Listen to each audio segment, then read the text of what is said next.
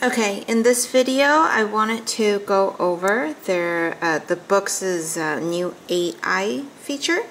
AI, it's just converting your handwriting, sorry, handwriting to text.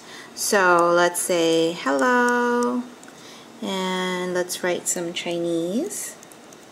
我的名字叫 and then you put AI and then it says it's converting.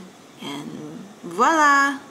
Uh, you know whether you write in English or Chinese is fine. If you want to continue typing there is your keyboard down below. Or if you have a, a Bluetooth keyboard attached you can also uh, keep typing on this. What's cool is here um, you can change the spacing of your lines. You can change the text size.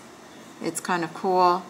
Um, you can export it to share or export to the SD card or the hard drive inside or you can share through PDF. You can bold your text. You can underline your text, not underline it. You can italicize your text. Um, basically, that's it, but I thought it was pretty cool. Um, you know, I'm thinking you could select it and then change so that you you could change different parts of your text too. So, so that's the AI function. It's new in the new update, and hopefully that's very useful to you guys. Um, we've been just playing with it since we got it last night really so I've just been trying to figure it out. Okay bye